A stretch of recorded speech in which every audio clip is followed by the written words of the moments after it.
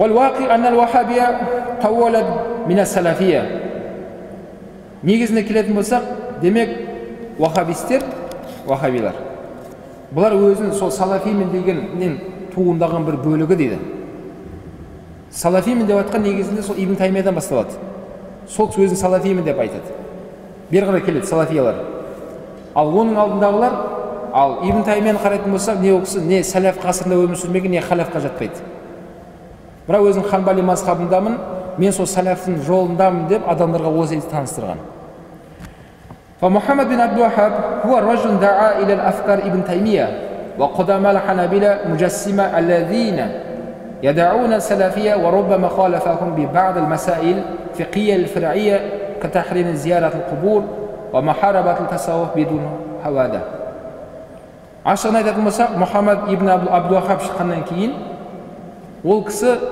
сол ибн таймияның сөздерін қайталады.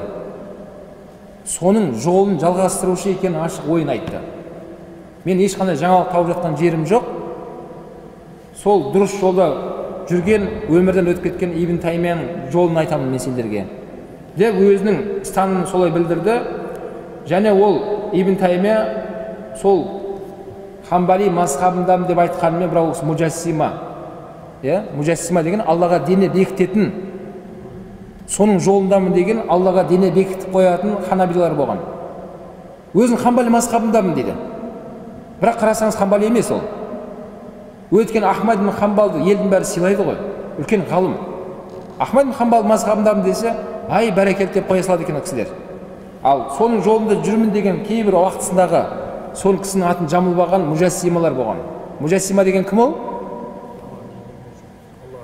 Аллаға дене берушілер. Мысалға айтатын болсақ дарын бауырымызды бірнеше уағызында мен ханафимін ханафимін деп айтқан еді. Жақында ғана өзі сұхбат берді одан ешкім сұраған жоқ өзі айтты. Мен ханафи емеспін мен матруди емеспін өзі неғып айтты? Мұсылман екі сөйлейді ма алдын ханафимін деп жүрген еді. Бірақ оны кейбір бауырларымыз иә мені намаз оқытырғанымды түсіріп алды да одан көрі ашық мен намаз оқығанымды түсіремін деп сұраса мен рұқсат ететін едім ғой деп өзі сондай сөздер берді. Бірақ оны бауырларымыз келіп қайтадан оған жазды оған ә, біріншіден оны түсірген адамнан бұрын мекке қаласында араб мынау телеарнасынан көрсетілген оған қалай намаз оқытырғанын. Сол роликтер сол кезде дарын бауырымызда ханафи мазхабымен емес бөлек мазхабпен намаз оқып тұрғаны көрініп тұр. Ал елге келген кезде ханафимін деп жүрген еді ол адам. Мен ханафимін субханалла мен ханафимін. Менен біреу сұраса мен ханафимін деп көп сабағында қайталайтын еді. Енді кеше сол каналдардан көрініп қалды оны бір бауырымыз түсірген видеосында көрсеткеннен кейін амал жоқ ол сұхбат беруге мәжбүр болды ханафи емеспін деді дәл сол секілді. Ахмад бин хамбалдың мазхабындамын деп жүрген мужассималар бар. Мужассима деген не ол? Аллаға дене берушілер. Бірақ ахмад бин хамбал алла субханала тағала ешқашан дене берген емес. Кітаптарда ондай сөз келген емес. Ибн таймияда сол ахмад хамбалдың жолында жүрген мужассималардың жолында еді. Мен хамбали мазхабындамын сол айтқан адамдардың сөзін айтамын деп. Ал ол мужассималар ахмад хамбалдың сөзін бұрмалап өздерінің теріс пиғылдағы сөздерін айтқан еді. Және сол ибн таймия сол хамбали мазхабындамын деп жүрген адамдар олар діндегі фиқ мәселесінде фиқтің ішіндегі бөлім тармаққа бөлінген мәселелерде көп жерде оларға қарама қайшы келді олар сәләфтарға. Сәләф ғұламалар басқа бір нәрсені айтты. Одан кейін біз салафиміз деп келген ибн таймилар басқа нәрсені айтты.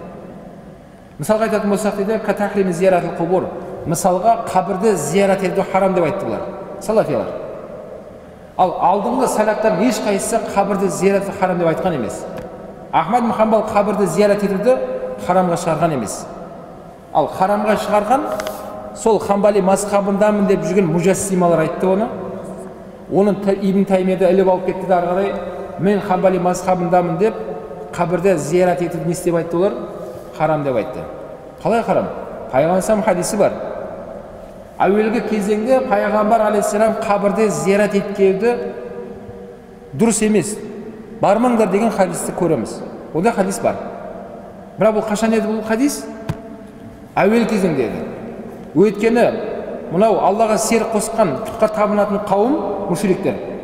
Олар тасқа да табына беретін еді бейітке бар аруақтарға да табынатын еді. Сол исламның әуелгі кезегінде пайғамбар алейхисалам қабірге бармауға осындай сөз айтты. Бармаңдар деді.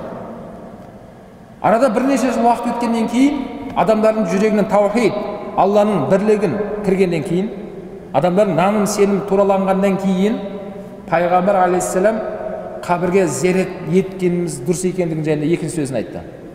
Қабірге барыңыздар. Қабірге барған кезде ақыретті естеріңізге салады деген осындай хадистер бар. Демек бауырлар хадис насих мансух болып бөлінеді екіге мансух деген күші жойылған хадис. Насих деген күшін жоюшы соңғы айтылған хадис болып екіге бөлінеді бірақ мынау сол салафиялар бұлар сол алғашқы сол нені хадисті ұстанды да міне хадис бар достоверный хадис қабірді зиярат ету үкімі не деп айтты харам деп айтты қабірге баруды рұқсат етіп жатқан адамдардың бәрі бидағатчиктер бұлар тыңдамаңдар бұлардың бәрі сендер адастырып жатыр біз сәләфтардың сөзін айтамыз сендерге сәләфтар қабірде зиярат қылмаңдар деп айтқан деп солардың сөздерін қайталады